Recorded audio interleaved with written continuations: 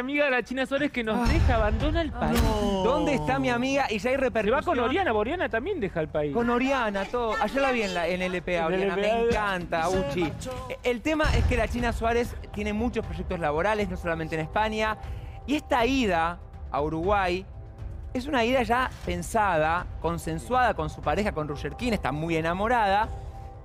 Pero está el otro win, que es el win de los ex. Ay, claro. Ah. Benjamín y Nicolás. Nicolás Cabré, en su momento, cuando la China Suárez había pensado en irse a vivir a España, fue el que puso el parate.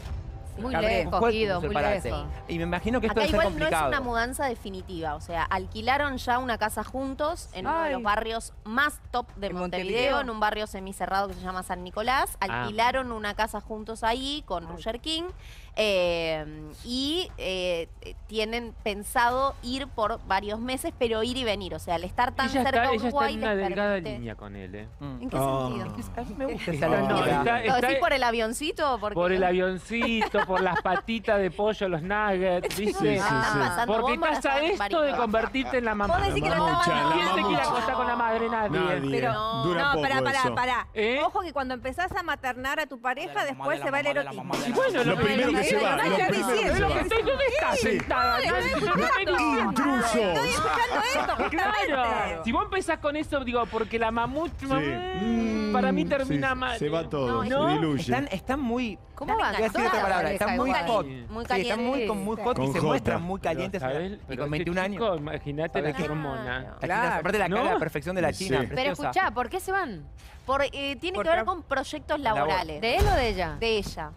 Ella Y está él, muy él fuerte. igual Re puede exitoso ser también. Él también. es re exitoso. Sí, lo que sé es puede que. ser. eh, sobre Ellos todo pueden ella- hacer de cualquier lado. Sí, Sí, obvio. pero Igual bueno, quedaron muy contentos con ella que participó Sí. de la De la máscara en máscara. Uruguay.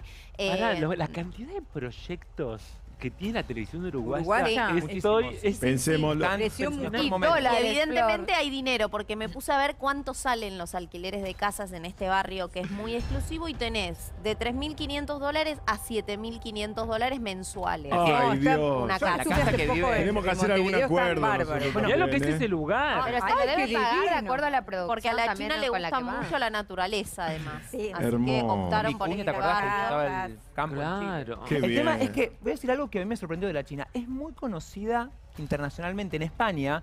Cuando hicimos los platinos, la China Sí. se vino bomba en la alfombra Ah, roja. divino. Y reconocen mucho, sobre todo películas que ha hecho la China como Absurda Sí. o El Sí, Hilo claro. Rojo, pero la reconocen a la China. A mí me sorprendió porque pensé, a ver, vos decís Lali, la China están construyendo, tal vez no es como acá, Bueno, pero de verdad como que el público español, el público latinoamericano la- reconoce el, el trabajo de estas... estas- muy bien valorados también los Muy bien valorados. argentinos. Todos los No, argentinos, todo lo que pasó en los premios platino, la verdad Sí. que todos los que fueron decían Les dieron un re lugar. lo que sucedió y No, lo no. Pasó con cada uno de ellos, que después después de los premios que se armaron como diferentes fiestas y que muchos argentinos participaron, dice que fue tremendo y sobre todo donde los tienen, Sí, donde los tienen puestos. O sea que yo fui a la fiesta privada después de los platinos y era poner, ver, no sé, a Ah, Diego Boneta, a. Luis Miguel, o ver a actrices de series que ves, no sé, la reina del flow que ahora está en Argentina, Sí. todos ahí de, de la latinoamericanas a la par. ¿En el qué? Lali era la reina de la fiesta. Sí. Lali, la china, No, la china, Lali, estaban- todos sí. los argentinos estaban ahí en el medio Sí. disfrutando. Como debe ser, Amora, me encanta. Es-